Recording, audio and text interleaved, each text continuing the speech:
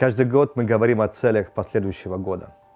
И этот год для общины Орхамашиях, Бетель и других общин, которые в сотрудничестве, не является исключением. Для нас следующий год – это послание к евреям, 11 глава, 1 стих. Этот стих все знают, где говорится о надежде, где говорится о вере. Я хочу зачитать вам его. Вера же есть осуществление ожидаемого и уверенность в невидимом. Ожидание.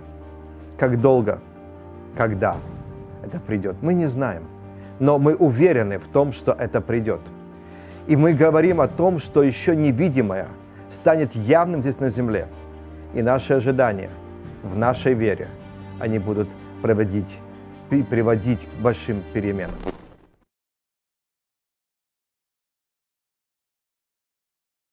И э, тема моя очень будет интересная, потому что начну я свою тему э, проповеди с, э, с очень всем знакомого, до души знакомого э, отрывка из э, песни Эльдара Рязанова из кинофильма «Служебный роман». Кто, кто помнит этот «Служебный роман», да?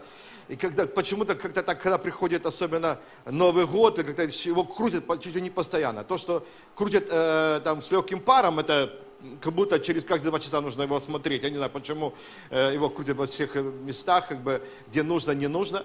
Но э, суть-то э, в чем? Эльдар Рязанов написал стихотворение к, э, к, э, к фильму «Служебный роман», и все знают эти слова. «У природы нет плохой погоды, каждая погода благодать.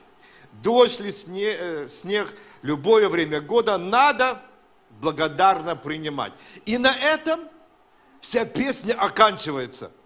Вот кто из нас, любителей э, этого фильма, помнит все остальное стихотворение, либо всю оставшуюся э, вот, прозу, которая там поется? А вот не, может один, вот один человек, он всегда поднимает руку, он все знает.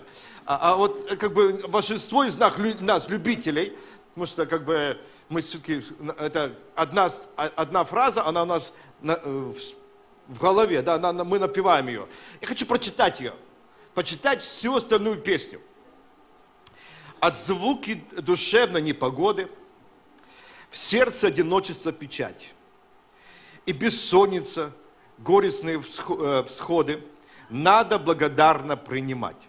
Смерть желаний, годы и невзгоды, с каждым днем все непосильней кладь.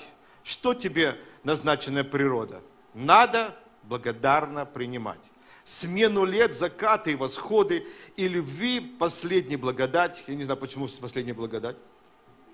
Как и дату своего ухода надо благодарно принимать. Я не знаю, куда уходят люди. То есть э, евреи часто, когда прощаются, не уходят, все остальные не прощаются и уходят. Поэтому мы здесь на земле живем чуть-чуть дольше. У природы нет плохой погоды. Ход времен нельзя остановить.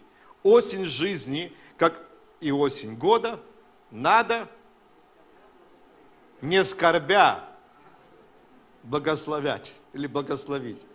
Кто-то уже нашел это в интернете очень быстро. Слава Богу за интернет, уже начали быстро петь. А, а, все уже помнят, через интернет уже все помнят. Но, но, но суть, когда я почитал эти слова, я начал думать, а, я теперь не, не, не сюрприз для меня, почему так все грустно живут на Руси. Да? Почему на лицах людей вот такое состояние, особенно в зиму. Зима-то не самое яркое время года, где мы наслаждением каждую минуту принимаем счастье. Кто из вас каждую минуту зимой принимает счастье? Мы вышли на улицу сегодня и сплошной лед – и мы говорим, Боже мой, как дойти в общину? Да? Уже никакого счастья нет. Думаешь, где мои коньки? Где, и как добраться до, до общины. Но суть именно вот в том, что когда приходит зима, у нас как бы нету постоянной, каждой минуты радости. Я вот э, думаю, думал и назвать э, вот послание мое именно таким образом, где прячется счастье в зиму. Потому что общаясь с людьми, и э, в молитве особенно, попав на молитву в этот раз, почему-то так было, стало э, как бы для меня грустно. Смотря на лица других людей, стало сильно грустно. Не потому, что они не молятся, а потому, что понимаю, что обстоятельства жизни никаким образом не предвествуют им радости. И вот э, как бы вся печать и печаль еврейского народа была на лицах. Да? И сегодня, смотря на многих, тоже можно посмотреть на эту печаль. Что толкает нас к радости вообще? Что заставляет нас радоваться и вообще переживать радость? Вот это послание сегодня для, меня, э, для вас и для меня лично. Но сперва хочу сказать, что нашим настроением, нашим настроением руководит никто иной, как кто-то, но не я. Что я имею в виду? Никто из вас вот прямо сейчас не сможет сказать, хочу радоваться. Ну, да, да, да, никто, никто. Вам нужна причина. То есть кто-то сзади, кто-то извне должен толкнуть вас на эту радость. Вот, э, ну, есть, ну да, ну, есть, есть высказка, смех без причины, признака сумасшедшего дома, но э, при, при всем этом мы не, на самом деле мы не сможем э, вот сказать, давайте все радоваться, раз, два, три, и тут как бы все, у всех появится улыбка, вместо того, чтобы как бы, невозможно ее заставить, но очень давно, я вот просто хочу сказать историю, которая поставит несколько точек к тому посланию, которое я говорю. Когда еще до появления общины я возил своих детей в школу, э, и они очень любили ездить э, в школу на машине. Хотя недалеко было. Там нужно было пройти минут 15 до школы, но почему-то они всегда любили ездить на машине, на большом джипе, еще раз говорю, до того, как еще была община да, на большом джипе, с, э, э, чтобы открыты были окна, э, люк и с, с, громким, с, громкой музыкой, подъезжать к школе, чтобы их увидели их одноклассники. Ну, ты, вы же понимаете, там еще те евреи э, как бы учились в еврейской школе, но они с этой с большой радостью, их, знаете, аж вдохновляло тем, что они на большой машине, громким таким, что машина аж такая, так тряслась, а подъезжали к школе, они так помпезно выходили. Они до сих пор еще мне вспоминают эти все вещи, что нам было как бы так чувство, что мы с этим приезжали. Но э, э к чему я это? Э, помню, как э, однажды, один момент, мы выезжаем из дома, я тоже люблю музыку, и я поставил диск, ставил музыку, и мы едем, и это вдохновление, знаете, вот уромитворение такое, молитва, там, прославление, оно на английском языке, ну, как, ну, как бы чувствуешь, что это как бы э, приятно, да. И я еду, и вот э, чувствую, что у машины появился э, свой разум какой-то, да, свой, свое действие. Думаю, либо это компьютер у него э, сломался, этой машины, либо какая-то вещь. А э, диски начали менять, э, как бы, песню, знаете, как ходит, с одной песни на другую. Я думаю, возвращаю ее обратно, а она где-то опять э, начала песня убегать. То как бы э, пытаюсь, э, поймал и еду, и, и громкость сначала, то выше, то ниже. Ты думаешь, что такое? Ушел мир, ушла радость, начал нервничать. Я как бы напряглись. И, и к большому такому удивлению мои дети сзади сидят очень тихо. Кто-то прокололся из них, кто-то начал с меня прикалываться, и я понял, что они нашли на заднем сидении пульт манипуляции э, э аудиосистемой и с меня прикалываются реально, они там э, э, то больше делают, а я нервничаю. У меня ушел мир, у меня э, как бы я, я, я, я думаю, как бы, знаете, как вот та бабушка, которую я возил в Германию, которая ругалась на GPS, я уже так на эту машину уже думаю, что с тобой происходит? И я понимаю, что кто-то сзади, манипулируя этим а, аудиосистемой, украл у меня радость, украл у меня спокойствие, э, э, э, ну, уш, уш, все это ушло от меня. И вот мой вопрос будет к каждому из вас. Кто на вашем заднем сидении у вас крадет эту радость, стабильность и э, мир? Кто-то ценой, я сказал, что радость, которая в нашей жизни, она, она э, регулируется чаще всего извне, да? То есть я не, вы не можете сказать, буду радоваться. И уровень вашего мира, вашей радости, как, как громкость, которая может больше или меньше зависеть от тех, которые путешествуют по жизни с вами на заднем сидении. Вы, видите, вы идете вперед, у вас есть цели э, в вашем радостном служении, ваши э, цели в семье, да, но кто-то извне пытается манипулировать радостью вашей жизни. Вопрос, кто это? Вы скажете, а, бесы.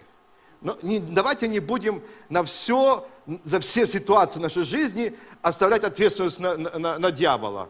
Я думаю, что ему достаточно уже без, без нас. Да, еще наши проблемы мы ему, на него накинем. Но в сущности, я хочу спросить, кто у вас в жизни манипулирует сзади вашу радость?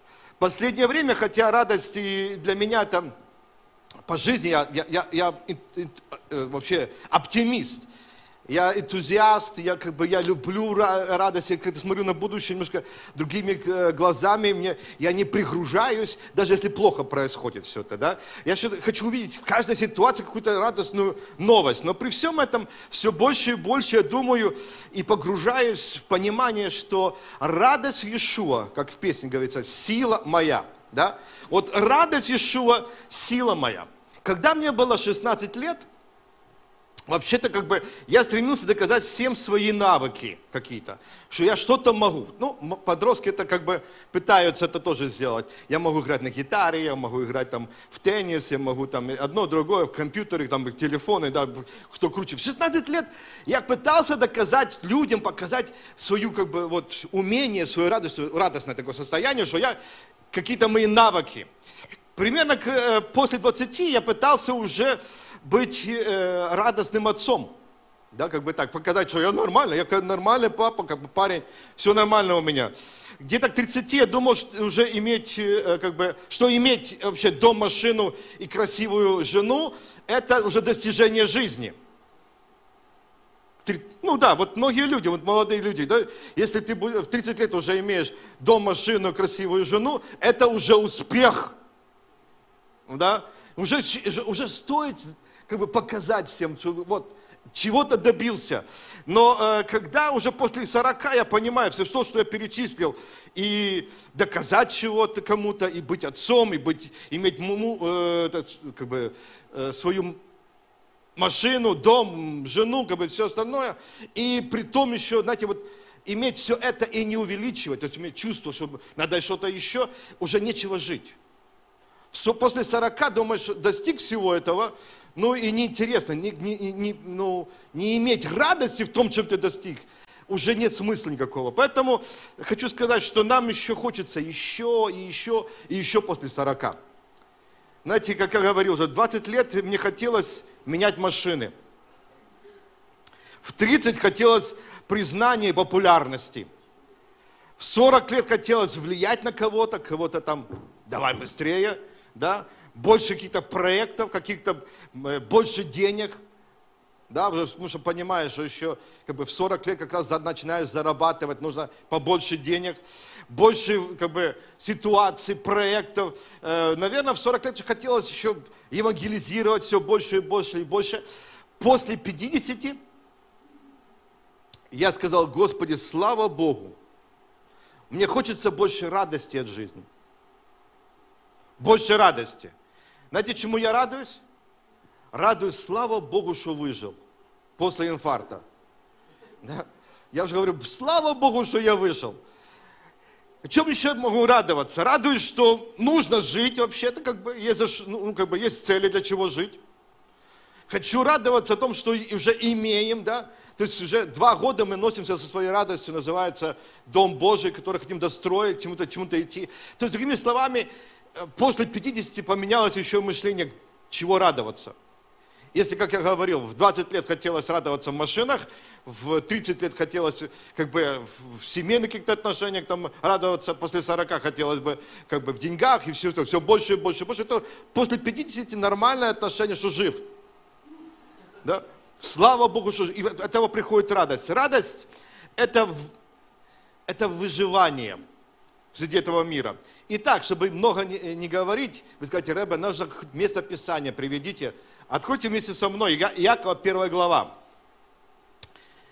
Со 2 по 4 стих. Будет очень интересно. С великой радостью, какой радостью? С очень большой, с очень большой, совершенной радостью. Да? Или нет? Ну да, совершенной радостью принимайте, братья мои, когда впадаете в различные искушения.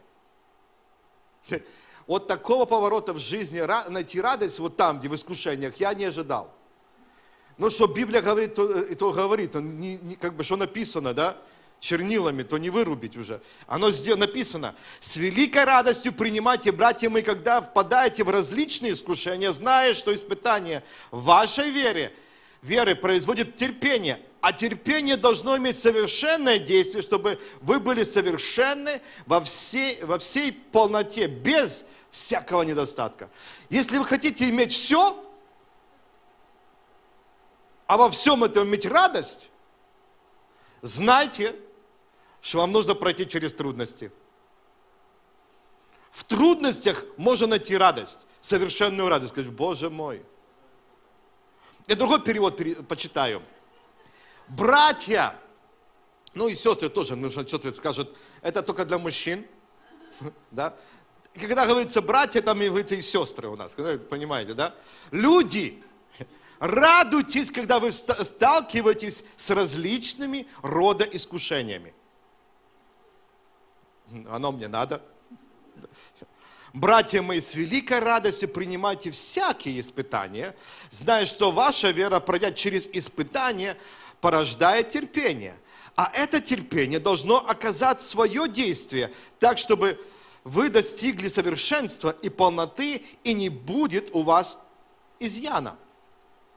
Вот как говорю, я как я уже сказал, вот такого э, положения радости я не мог, как бы не мог себе представить. Я, наверное, я не там искал радость. Потому что чаще всего из, из того мира, где мы вышли, да, и том мире, где мы живем, понимание радости базируется на совсем других э, ценностях, чем в Библии. Потому что у нас радость мирская, это то, что с нами приходит, да, мы часто базируем нашу радость на каких-то основаниях. Что-то должно произойти, чтобы чувства, которые нас удовлетворяют, то, что нам понравится, должно привести нас в радость. Но здесь Яков нам дает понятие различной радости – Радость, она не только плотская, вот это чувство, которое мы, чувство переживания веселого ощущения и как бы, довольства.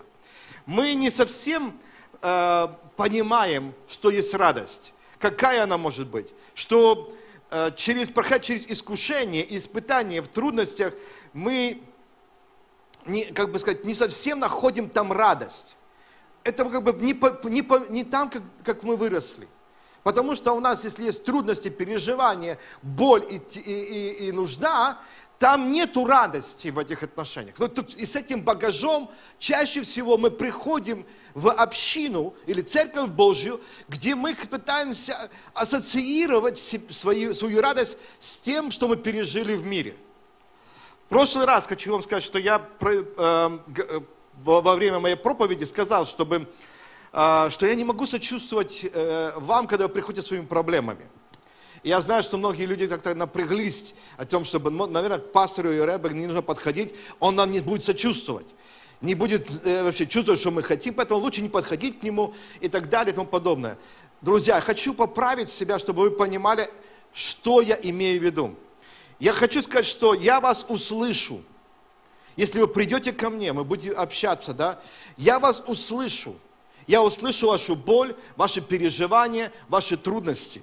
Я смогу с вами э, разобраться в том или ином э, моменте вашей жизни, чтобы об этом помолиться, чтобы это предать Богу, чтобы вместе мы прошли этот путь. И если это будет каким-то исповеданием, я хочу гарантировать вам, что это будет безопасно, никто об этом не узнает. Вот что я имею в виду. И когда вы хотите, чтобы я э, как бы плакал и как бы э, горестно, я могу это просто сделать ради вашего уважения. Понимаете, да? Но я честно хочу сказать, что я буду слышать о том, чего проходит. Потому что то, что вы проходите, проходили и пророки, и мы проходили. Но знаете что? Наши переживания, наше прохождение трудностей, они различны. Но мы все, каждый из нас, каждый из нас проходим через трудности. Каждый из нас проходит через испытания. Они от, относительно друг друга, они различны. Но по сущности нет ни одного, чтобы не прошли испытания. Как многие из нас понимают, что искушение, или более точно сказать, жизненные трудности, испытания, что это как колорит. Знаете, вот приходите в, в, в эпицентр, и э, там множество есть различных оттенков краски. Вам говорят, какой оттенок краски вам нужно, и ставят такой веер, да, и ты начинаешь теряться, неужели столько краски в этом мире есть? Как многие из вас понимают, что как вот, вот много цветов и оттенков э, э, краски, столько и ситуаций по жизни существует. Одна на другую не похожа. Какой-то другой оттенок, другой какой-то цвет, и она на одну другую не похожа. Поэтому Яков описывает, что есть множество различных трудностей – через много испытаний каждому из нас нужно пройти. Но очень много людей иногда проходят свои сложности в жизни, мечтая, чтобы э, собственные проблемы поменять на другие. Ну, оттенок-то проблем другой, да? И мы часто говорим, мне бы твои проблемы. На что мы намекаем? Что ты хорошо живешь, мне бы твои проблемы а тебе мои. Да, вот как бы так вот. Вот с намеком. У нас какой-то принцип в голове существует, что мы можем обменяться своими проблемами. Ну, конечно же. Ну, кому бы не хотелось поменять свой недостаток с тем, кто имеет избыток. Да, вот так. Кто бы не хотел поменяться с богатым человеком, когда у тебя ничего нет? Два человека, слава Богу. Знаете, так вот, но, но, но, но зачем тебе его проблемы? Да? Зачем тебе? Тебя не ищут ни кредиторы, ни бандиты, ни должники, ни тем, кому ты должен. У богатых свои проблемы, свои причуды. Но, э, но проблемы у него не меньше, чем у тебя. Знаете, как, как, люди, так скажут, не женатые. О, мне бы их проблемы, я бы быстро навел порядок с своими детьми, с мужем, нормально. Мне бы его проблемы не знают, как мне сложно, не быть женатым или не, быть, или не иметь детей. Тоже же такие люди хотят поменяться. Замужество на, на, на незамужество или наоборот. Богатство не на небогатство, на нищету. Да? А те, которые машину не, име, не, э, не имеют, толкаются в маршрутке, вытащили кошелек, то еще что-то, знаете, ты нервничаешь, смотришь через окно на тех, кто мимо проезжает на машинах, и думаешь, как они нормально, быстро доехали до на работу. А те, кто на, э, на машине и стоит, чинит колесо, и видит проезжающую мимо маршрутку, думает, как хорошо было, когда я просто ездил. Я, я как бы не тратил деньги ни на бензин, ни на э, э, это колесо, ни на ремонт. И теперь сейчас надо еще поехать в центр города, поставить машину так, чтобы эвакуатор не забрал, не дай бог. Сегодня закон же, да не там парканулся, потом заплатишь три раза дороже. Как мы хотим поменяться на разные ситуации. У каждого собственное испытание веры услышьте мое послание сегодня о радости, хотя я говорю о проблемах. Потому что у каждого из нас есть разные испытания веры. Радость не результат того, что о тебе говорят люди. Какой он хороший, как он достиг всего. И ты думаешь, ой, как хорошо о мне говорят. Это не фактор того успеха в обществе. Радость это не то, как о тебе говорят. Сегодня у нас там, сколько, 34 кандидата в это самое, в президенты да? Еще не, и еще не все. У всех большая радость стать президентом. Кто им завидует? Я не знаю. Не говоря уже о том, что многие из нас путают слова испытания со словом искушение. Хотя и, и Библия говорит, ну, Яков там говорит, искуш... когда впадаете в большие искушения. Мы вообще-то забыли, что такое чувство э, и понимание и путаем иногда то, что называется искушением и испытанием. Так как искушение плоти связано с нашими плотскими желаниями, а испытание – это события извне, которые проводят нас через основу э, поведения и реакцию в обществе, основываясь на наших убеждениях. Правда? Это разное. Хотя Яков использует в этом месте, Яков использует слово, которое относится и к тому, и другому чувству.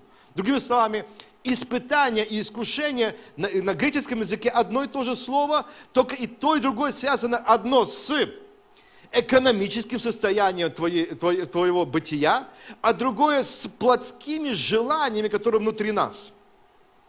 Но Бог дал нам разные инструменты, как удержать и то, и другое. Как подходить к одному другому слову. То есть искушение и испытание. Нам очень важно понимать, потому что у каждого из нас, э, хотя бы свое понимание. Один из примеров. Если мы ис, ис, искушаемы дьяволом, да, Писание говорит что? Противостоять ему. Да? А в другом месте говорит, когда вы испытываете, то принимайте. Интересное выражение, да? И э, инструмент у нас, который э, Бог нам дает, в искушениях мы должны его что? Чтобы не сильно э, влились в, в то, что я говорю. Или только я один такой как бы завелся тем, что я проповедую. Да? Потому что я понимаю, что это важно для меня, лично для меня когда мы, мы проходим именно искушение, когда мы искушаемся извне, и мы должны противостоять дьяволу в нашем искушении. Но когда мы проходим через трудности, испытания, мы должны что их? Принять. Но многие люди, они путают. Тогда, когда нужно противостоять искушению, они говорят, давай, давай, и много, давай мне сейчас. А то, что нужно проти, э, именно, проти, э, принимать ой, и противостоять, э, наоборот, то, что нужно противостоять, они принимают, а то, что нужно проти, принимать, они противостают. Трудности мы начинаем, там, в бизнесе, да, мы начинаем противостоять всем. Вместо того, чтобы принять, рассудить, посчитать, вызвать бухгалтера и, да, и юриста, чтобы тебя не посадили, нужно разобраться, принимать нужно – да, чаще всего. То есть мы именно попутаем позиции. Там, где нужно противостоять, мы принимаем, тогда нужно принимать, мы противостаем. Э, для нас необходимо понять разницу, научиться из Писания, где разница между одним и другим. Нам нужна мудрость свыше для распознания одного и другого чувства, которое внутри нас.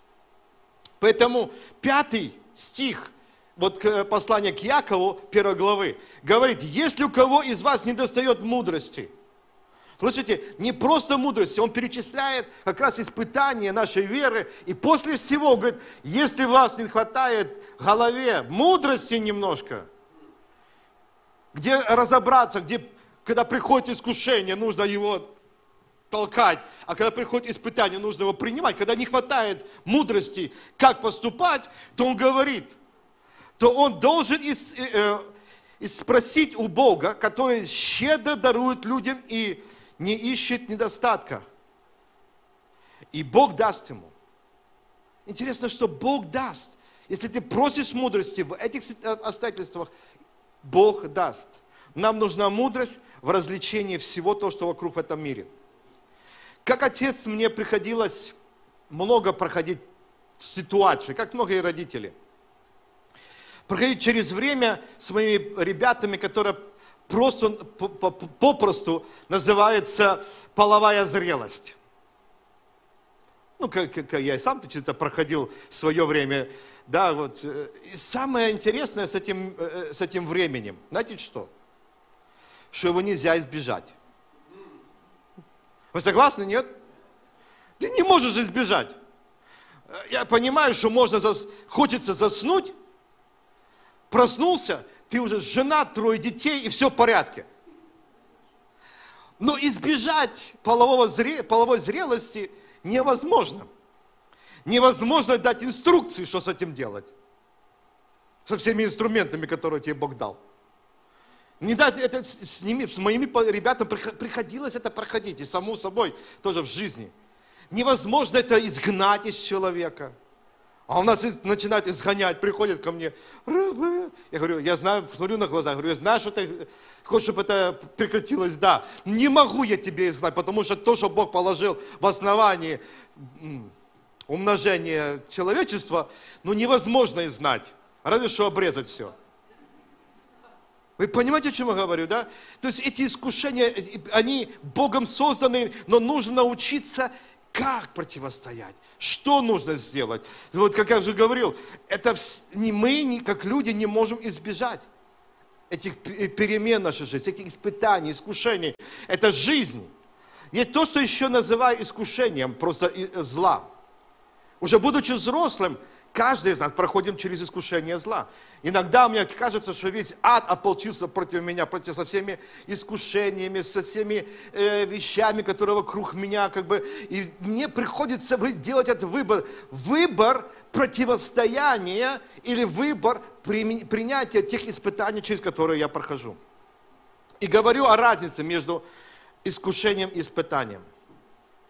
И когда мы говорим и понимаем, что есть испытание искушение, и мы понимаем, что есть испытание и искушение, тогда приходит четкое различение между словами радость и удовольствие. Я все это говорил для того, чтобы сказать две вещи вот эти. Когда мы понимаем, через что мы проходим, через какое искушение или испытание, тогда, если мы понимаем в жизни, тогда и придет к нам понимание, что такое радость и что такое удовлетворение. То есть доволь, довольство такое. По этой причине. Однажды я наткнулся на футболку э, э, у верующих. Люди э, любят носить футболки там, да, типа евреи за Иисуса, или там еще как бы, я не еврей, но я как бы верю в Иисуса, или что-то еще типа этого. Э, я счастливый там такой, потому что я верующий и так далее и тому подобное. И вот э, э, на футболке было написано, нет Иисуса, нет радости. Я думаю, нормально. Ну, как бы так, э, евангелиционно, ну, как бы, э, это как вызов. И люди могут спросить, ну, как, типа, а в чем суть? Ты можешь евангелизировать? А я посмотрел на это и думаю, ну, как это странно. Но есть какие-то удовольствия и наслаждения в жизни без Иисуса, что же есть? Макдональдс, независимо, он вкусный, независимо от того, ты знаешь Иисуса или не знаешь Иисуса. Ты кушаешь, он вкусный. Мамины э, вареники, или же мама моя любит делать э, пельмени. Мамины пельмени, независимо от того, что я спасенный или нет, они вкусные. Правда? Вот, в момент есть чувство, которое ты э, э, понимаешь, что э, смеяться и хорошо провести время шуткой можно и не, э, как бы, ну, не имея понятия, спасенный человек или нет. Но, послушайте внимательно, что я хочу сказать. Но разница в том, что радость, которую мы переживаем в чувствах, они намного глубже, чем те э, временные, мирские э, чувства вот э, поржать, по- поиздеваться над каким-то вот каким-то временным э, удовлетворением. Понимаете, о чем я говорю? Для верующего человека они становятся глубже. Глубже тем, что у нас есть пища, которая на столе. У нас а, а, благодарность маме, которая сделала эти, эти пельмени. Когда ты кушаешь, и ты думаешь, мамочка, спасибо тебе. И ты э, переживаешь не только за себя, а за маму, которая сделала эти, эти э, вкусные пироги. Вы слышите, нет? У верующего человека становится чувство благо- благодарности. Бог заинтересован сделать нас святыми, да, как говорят люди. Я часто слышал от ам, таких э, проповедников старой закалки.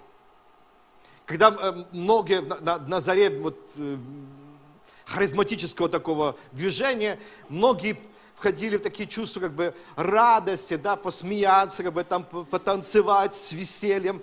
И э, упреки в, в адрес со стороны консервативного э, протестантизма были таковы. Бог нас призвал и готов сделать нас святыми, нежели смешными.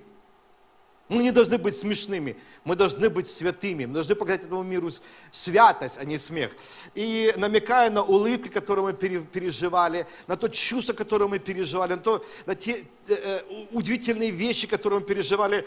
И вот момент здесь нужно э, разобраться с, с этим консерватизмом, который э, говорит что о святости, нельзя путать о том, что нам не нужно радоваться. Один из примеров, кто из ваших, э, вот из родителей здесь сидящих, хочет видеть своих детей постоянно грустными, прибитыми, пониженными, горбатыми, несмотрящими такие. Я не вижу ни одного папу, который бы не, не радовался бы о том, что дети радуются, что они получают удовольствие от, от жизни, о том, что они уч, э, учатся, о том, что они играют, о том, что они, они возрастают в нормальном э, мире, правильно? И я думаю, что вот это э, нельзя сравнивать святость и с радостью как бы э, в противоположности. Радость в библейском понимании делает гармонию в еврейском слове, вот именно симха – да, мы, мы, мы, мы любим говорить Тора Симха, то есть радость Торы. В чем она состоит? Вот, вот это слово радость включает в себя еще не, нечто. Это благословен человек, он радостный, потому он благословлен, он счастливый, он смеющийся и в восторге. Одно и то же слово, которое в, еврей, в, еврей, в иврите, оно, э, такая емкость в этих всех словах. И Бог хочет, чтобы мы имели эту радость. Когда Яков говорит, братья мои, с великой радостью, принимайте, да, он имеет в виду следующее. Считайте это благословением, что попадаете в различные испытания – Считайте эти благословения, когда вы проходите через трудности. Считайте это благословением. И многие люди на меня так, вот я вижу, что смотрят на меня такими большими глазами. Я что-то потерялся, э, э, пастор, да, я что-то потерялся в этом, я не понимаю, как это возможно. именно, друзья, я, вы увидите, к чему я веду. Кто регулирует ваш, вашу радость задних сидений? А если вы двигаетесь вперед? Кто это регулирует? Он говорит, считайте это благословением.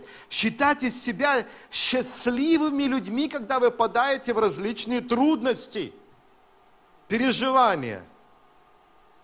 Мне бы ваши проблемы, да? Вспомним, да? Мне бы ваши проблемы. Братья, радуйтесь, когда вы э, сталкиваетесь с различными рода искушениями. Первое послание Иоанна 1.4. И сие пишу вам, чтобы радость ваша была совершенна. Ой, вей. Совершенная радость в проблемах? Ситуация, которую должен решать? Конечно, с восторгом принимайте жизнь, как возможно ближе к себе. Принимайте. Удовольствие ассоциируется с радостью у нас, у людей у нас. Кушал э, вкусное э, мороженое, да, с, с наслаждением, и вот чувствуешь эту радость. У нас ассоциация вкуса э, и чувств, да, пересекается с чувствами радости. Мы, мы миксируем это. Если нам хорошо, если мы хорошо покушали, если у нас э, ну, как бы, вкусненько, хорошо, э, тогда это ассоциация с радостью.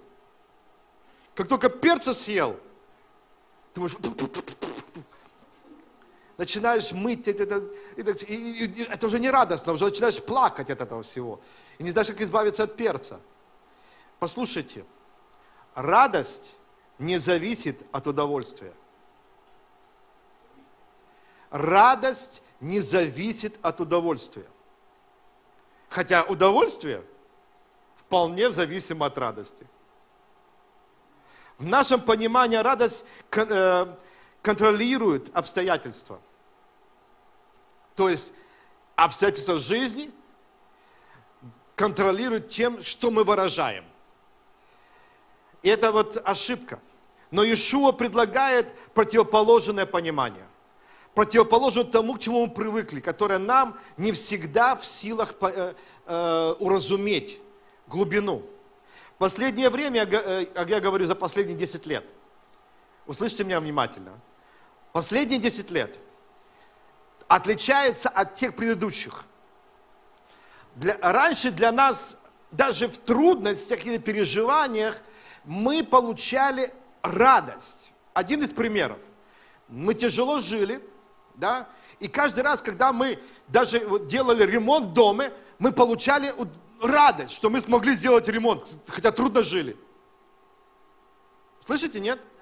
Когда мы шли где-то тяжело поработать, но мы, когда мы все вместе это делали, мы получали радость о том, что мы сделали. Но последнее время мир и социальные сети смогли сделать то, чего как бы мы даже не предполагали.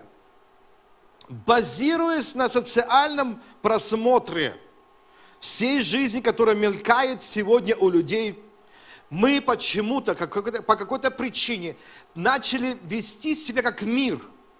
Если у меня нету улыбки до ушей на всех фотографиях, хотя там может быть плохо, но улыбки нету, если нет вот этого сзади какого-то э, антуража, счастливого э, фотографии, тогда что-то с нами не в порядке.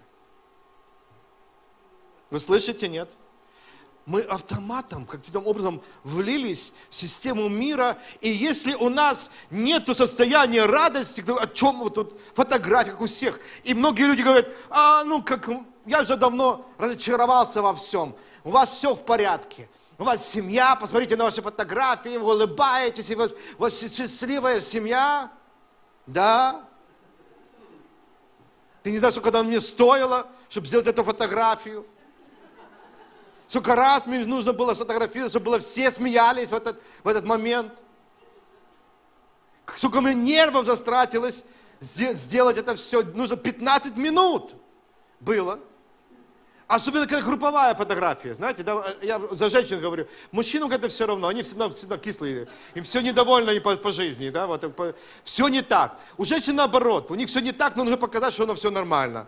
Как бы, и вот и, самое интересное, что когда, и вы посмотрите, собирается 5, 6, 10 женщин, один, один фотоаппарат, и каждый начинает говорить, дай мне посмотреть меня. И когда не нравится, переделайте. Сколько нервов там нужно.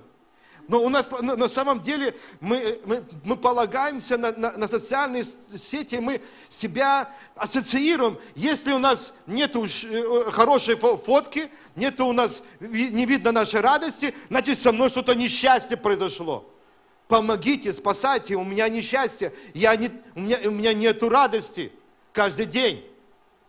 Каждый день должна быть радость. Открываешь Facebook, радостный. Можно сказать, я уже давно обнаружил, что у меня не такие э, ценности, как у вас, поэтому я не радостный.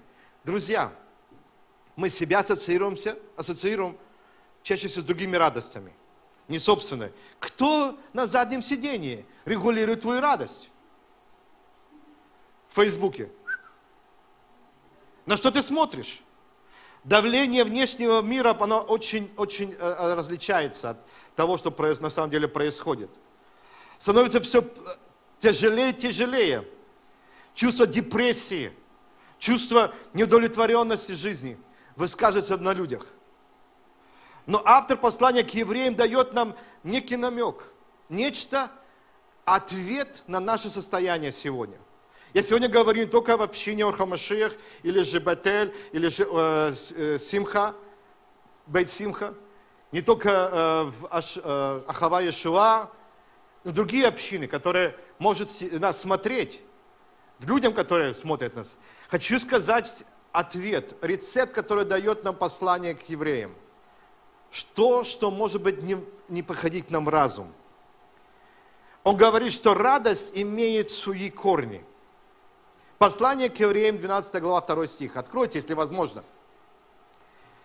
«Взирая на начальника и совершителя веры, Иешуа, он говорит, хотите знать радость?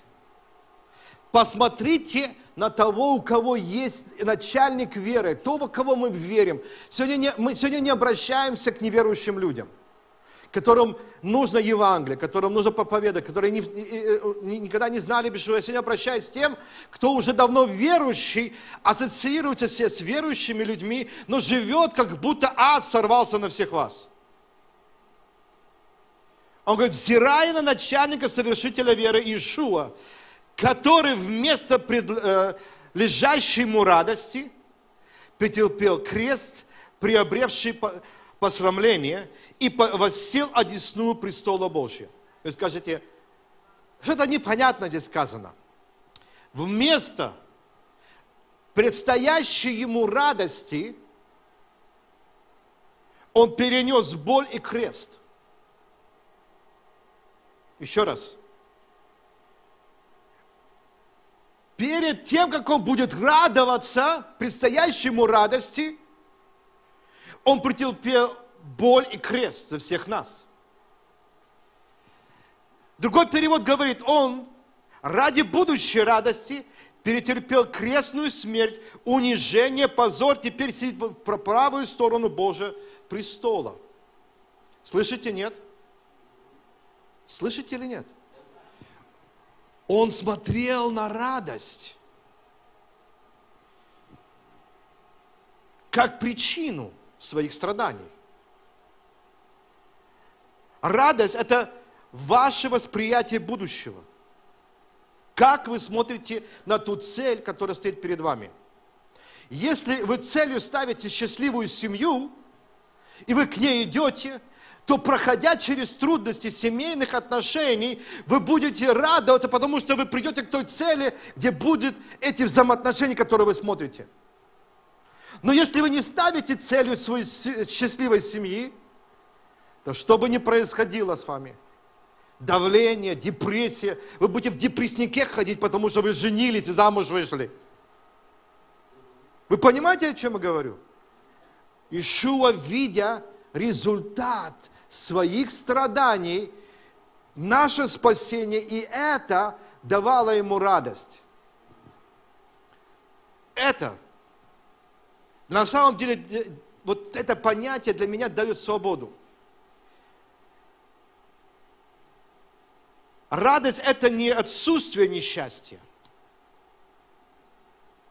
Вы понимаете, мы говорим, как дела, все хорошо. Радость – это не отсутствие несчастья или насущность удивительных ситуаций, которые у вас в жизни происходят. Это цель, которую мы ставим перед собой. Счастье – это цель, которая, куда мы идем. Что я имею в виду? Когда Ишуа добровольно, зная, что ему нужно перетерпеть боль, страдание, унижение, э, оплевание, терзание его тела, до надсмешки, зная, через что он должен пройти, он целью видел, и как конечным итогом, радость о спасении каждого из нас. Это не означало, что он висел на кресте без боли – а, ну хотя, да, он же святой Бог, он даже мог, все эти, эти э, гвозди на его руках, это могло быть с поможением его радости. Аллилуйя, слава Богу, я страдаю.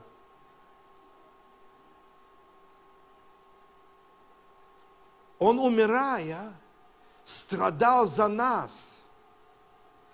Боль терпел, зная, что к чему он идет, той радости. И в нашей жизни, я, возможно, плохой пример сделал, но в нашей жизни, если мы хотим иметь эту радость, что вот влечет нас к этой радости, то мы должны понимать, что мы должны принять нашу жизнь, даже при всей боли, при ситуациях, мы должны принять и чувствовать целью моей радости, проходя через трудности. Я надеюсь, что я мог, и могу донести до вас свое послание. Иешуа претерпел крест и унижение. Он не нашел радости в своих страданиях, как и каждый из нас. В наших собственных страданиях мы не находим радости. Кто из вас радовался, когда он заболел? Радовался, когда его ограбили.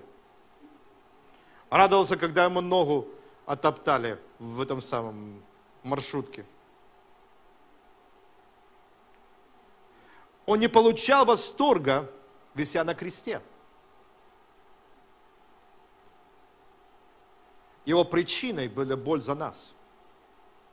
Есть разница прохождения боли и страдания с конкретными целями, чем без них. Когда мы знаем, особенно женщины, которые рожают, они проходят через муки родов, и если есть цель родить, они не смотрят на эти трудности, переживания, боли, потому что радость в конце – новая жизнь. Вы слышите? Может быть, для мужчин сложно, сложно понять, но вы должны тоже, мужчины, понять, без трудностей, без переживаний, через, без боли невозможно даже иметь счастливую э, семью. Невозможно получить что-то, счастье. Но если мы поймем здесь в нашем разуме, один из примеров, еще скажу так, почему я так вот сильно говорю об этих вещах, у меня еще есть время. Однажды, когда моему сыну было пять лет, я, я как раз вот о Татьяне сейчас буду говорить,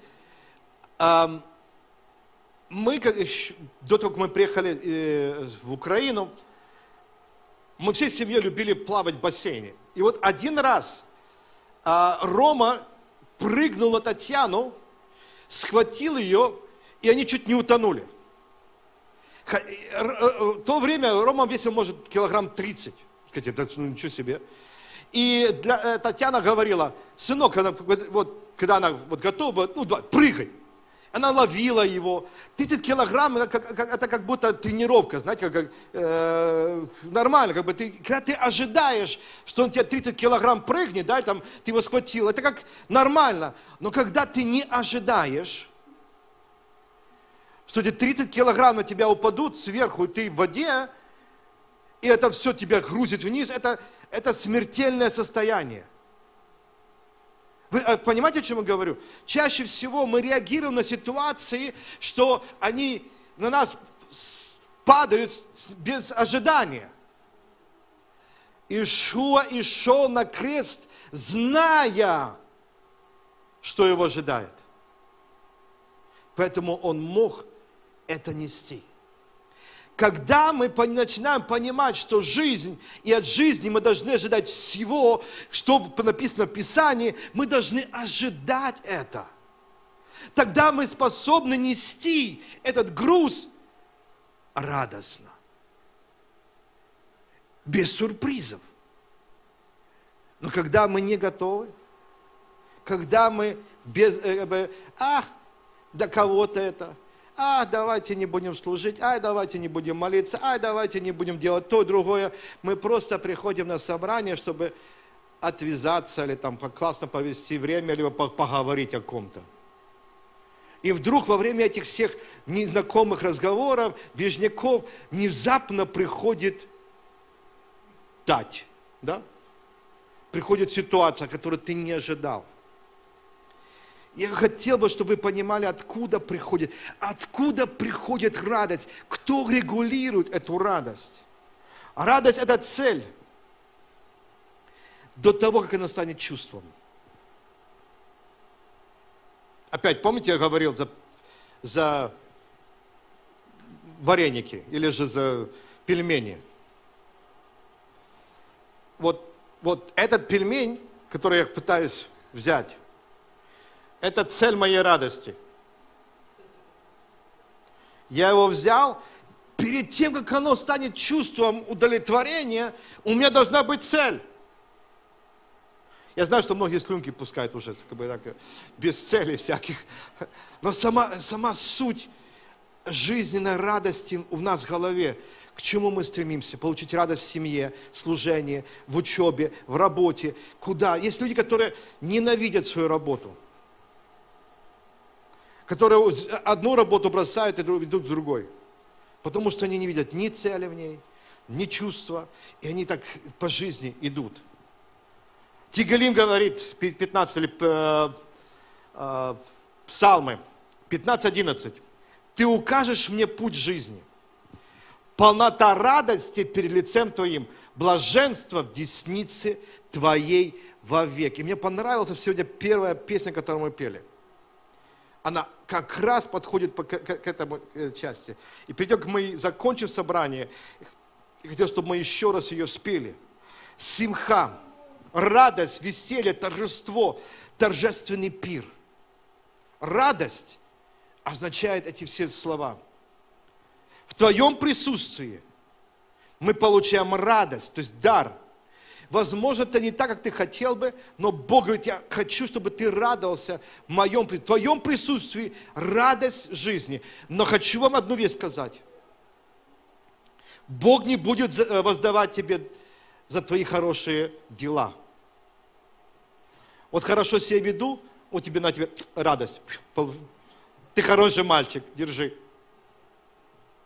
Радость не зависит от наших хороших дел. Радость даже не зависит от того, что мы находимся в этой синагоге или в другой храме и так далее. Бог не лимитирует себя своим присутствием, либо воздаянием за твои хорошие дела.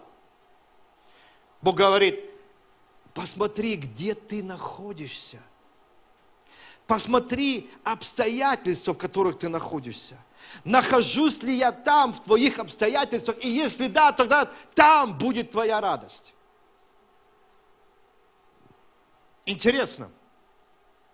Но я не могу сфокусироваться на том, там, где есть Бог, и то, что Он делает сейчас в моей жизни, когда я наблюдаю за посторонними. Когда я наблюдаю за тем, другим, третьим, а не, не нахожусь в фокусе моей цели, моей радости, в моем Боге, в собрании, или это дома, или где-то в домашней группе – когда я наблюдаю за другими, и мне говорят, Ребе, ну что вы меня постоянно видите? Посмотрите на других. Вы меня замечаете на инстаграмах и так далее. А вы других не видите. Я, знаете, как отвечаю? Я говорю, другие не выставляют на инстаграмах ничего. Поэтому я не вижу. То, что ты мне говоришь, я не вижу. И я нахожу свою радость по одной причине я не наблюдаю за другими. Я могу указать, потому что Бог мне покажет какие-то вещи. Но если начинаю рассматривать, что происходит в других жизнях, как Бог там делает, что Он делает там у них в жизни, больше скажу вам. Если вы три года назад попали в какую-то ситуацию, вы об этом думаете, переживаете, то у вас нет цели радости, вы не достигнете ее. Потому что только в моем присутствии, в моем присутствии есть радость жизни. И Писание говорит к римлянам, 14 глава, 4 стих. Кто ты, осуждающий чужого раба? Перед своим господином он стоит или, или падает. Он будет восстановлен, ибо силен Бог восстановить его. Я не говорю о том, чтобы нам не быть ответственны за наши поступки или за поступки людей, которые в общине. Я говорю о том, чтобы мы увидели цель своей радости в Боге, и что Бог делает сейчас во мне, в моей жизни, что проходя этот путь, я получил эту радость. И если я не буду замечать, буду смотреть на другие, то я не получу своей радости, я буду завидовать их радости. Почему-то на Инстаграм у них получается эта улыбка, а у меня нет. Почему-то у них в жизни больше проходит успеха, а у меня нет. Радость.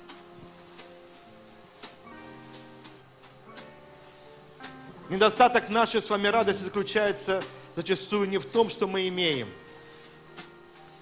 а в том, чем мы настойчиво рассматриваем – в том, что мы любопытны. Мы не можем получить радость. Вместо предлежащей ему радости он, пос, он взял страдания. Как вы думаете, смотря на страдания своего сына, Бог был там? Да, он, Ишуа сказал, или или ламаса лахвани. Боже мой, Боже мой, почему ты меня оставил? Но если вся земля полна Его славы, и Бог весь вездесущий, весь, Он везде находится, видел ли Он страдания своего Сына? Пускай идет, пускай идет это, пускай идет. Видел ли Он? Бог участвовал там. И Бог участвует в твоих страданиях. Твоих страданиях, в ваших переживаниях, в вашем испытании. Вопрос Божьего присутствия уже не стоит, потому что вся земля полна Его славы. Имейте нрав несреболюбивый, довольствуйтесь тем, что есть, ибо сам сказал, не оставлю тебя и не покину. В любых обстоятельствах Он не покинет. Но вопрос стоит, где ты в своих обстоятельствах? Где ты находишься в этот момент, когда ты пришел на собрание? Где ты находишься, когда ты приходишь на, на домашнюю группу? Где ты в своих мыслях, в своем рассуждении, в своем осуждении? Где ты находишься? Где твой фокус? Мы можем натянуть улыбку, показать, что мы счастливые. А можем очень серьезно всматриваться в то, тот фокус, который у меня есть.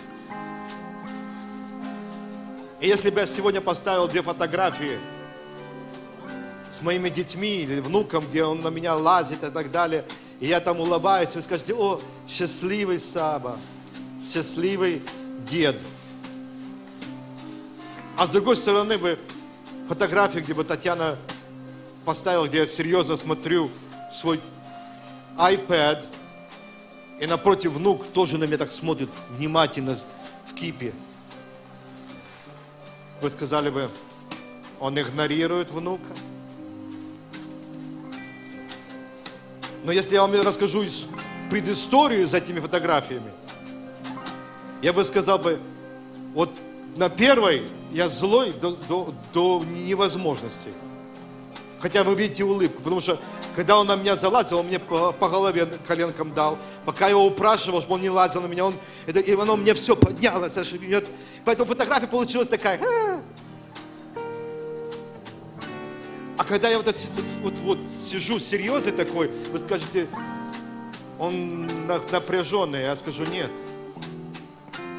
мы с ним общались. И я ему читал. Мой фокус был на том, что предоставит мне радость, когда мой внук вырастет. Мы можем натянуть свою улыбку, а можем быть сосредоточены. И мой призыв сегодня во время поклонения сказать вам, выберите свой фокус радости. Еще поэтому говорит, радость ваше да будет совершенство. Фокус. И несмотря через что ты проходишь, у тебя должен быть фокус радости. И даже если ты проходишь долина смертной тени, ты знаешь, что там тебя ожидает радость после больницы, после капельниц, после, может быть, переломов, а возможности других ситуаций. Тебя при... ожидает радость. Поэтому она совершенно всегда. И проходя эти трудности. Давайте передадим Богу эти ситуации. В Его присутствии совершенная радость. Давайте мы ставим наши ноги.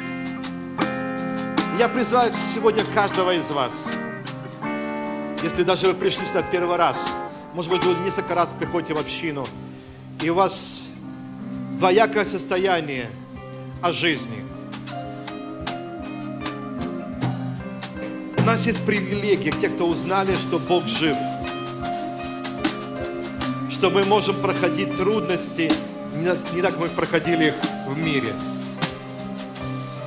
Потому что мы в мире решали свои трудности путем ругательств, да, путем решения вопросов, кто-то кулаками, кто-то судебными вопросами. Но приняв Ишуа Мессию, мы проходим трудности немножко другими чувствами, поднимаем к Нему руки и говорим спасибо. Перед тем, как они станут чувствовать переживание, в сладость или какое-то удовлетворение, у нас должен быть фокус. Я к этому призываю. Я верю, что новое положение для всей церкви, для всех общин. Фокус, кто мы в нем и где он находится с нами. Видим ли мы, что мы проходим вместе. Крест Голгофы не забрал боль, но дал возможность радоваться, пройдя этот путь. Ишуа знал это. Поэтому говорил, забери эту чашу от меня. Я знаю, что это больно, это неприятно, это ужасно. Но да будет твоя воля. И написано, ангелы укрепляли его. Укрепляя. И сегодня я молюсь, чтобы Бог и ангел Господний укрепили вас через все то, что вы проходите. И вот то, что здесь написано. Радостно исход радостный, выход радостный. Амин.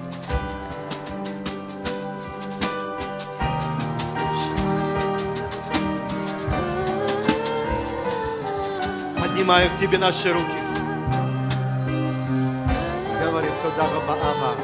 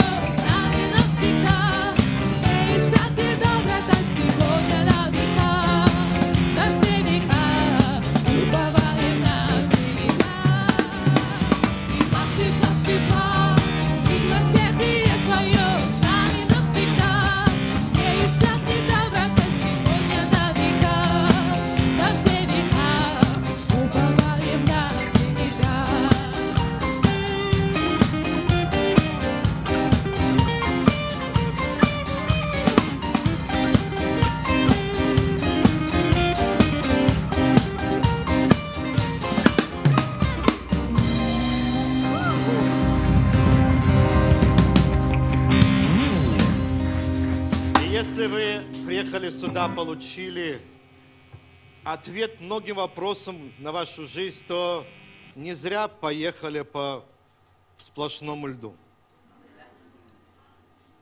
Это стоило. Да? Я думаю, да стоило. Повернись к своему соседу и скажи, классно, что ты приехал.